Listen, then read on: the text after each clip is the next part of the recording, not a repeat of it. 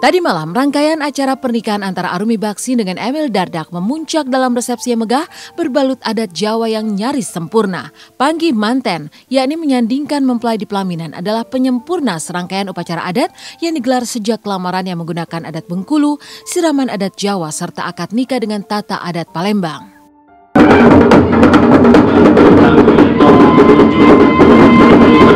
Tutur bahasa itu dalam adat yang benar yang sama kita pakai.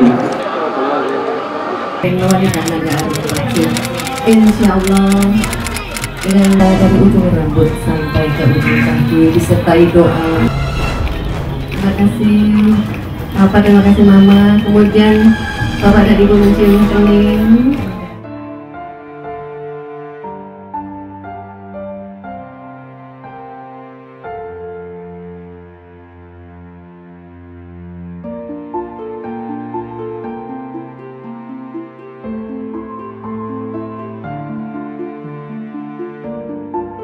Seolah ingin menegaskan kemegahannya, rangkaian upacara adat sejak lamaran hingga akad nikah, bahkan resepsi semalam sengaja ditutup dengan resepsi bergaya Jawa Tengahan.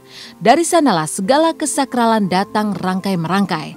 Emil yang sempat mengaku seorang pencipta lagu kepada Arumi, akhirnya mempersembahkan lagu untuk istri sahnya itu.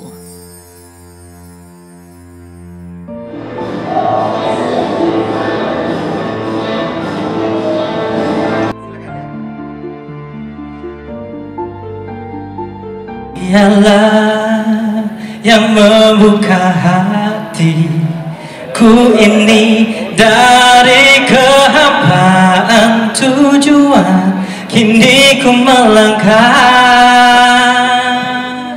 Ya memang saya nyari momen yang spesial untuk uh, terus terang Arumi sempat bilang kamu tuh pencipta lagu tapi kok nggak pernah ya ada lagu terinspirasi, eh, terinspirasi dari saya. Dia sempat ngomong gitu sekilas.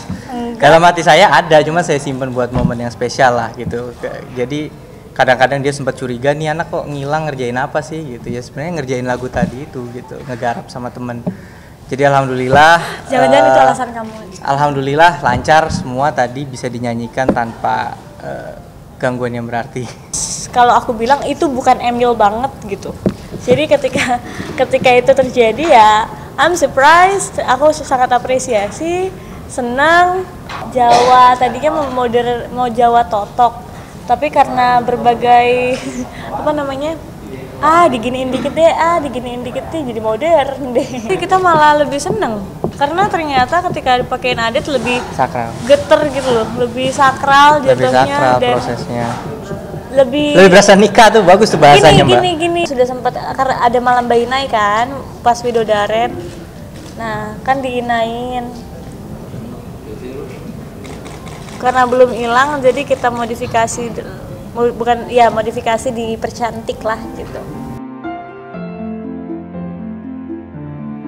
Perjalanan asmara Arumi Baksi dengan Emil memang penuh cerita. Di atas pelaminan, Emil yang putra seorang wakil menteri terlihat sangat bahagia menyunting artis belia dalam suasana glamor.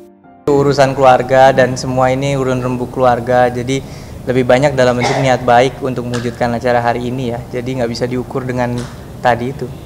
Kita jangan bilang glamor lah, kita bilang bahwa kita memberikan sesuatu yang terbaik untuk eh, orang-orang uh, yang ingin memberikan doa restunya ke kita gitu.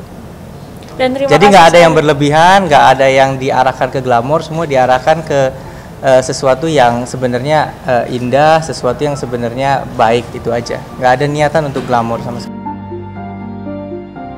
Pernikahan mereka serasa melengkapi hajatan para selebriti yang ramai-ramai menggelar lamaran dan pernikahan di bulan Agustus kemarin.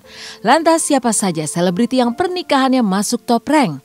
Mengapa pernikahan Bella Safira dengan Mayor Jenderal Agus Suryabakti menempati puncak top rank?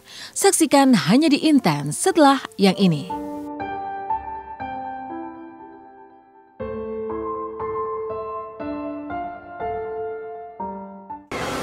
Masih di sekitar suasana pernikahan, inilah para selebritis yang masuk top rank.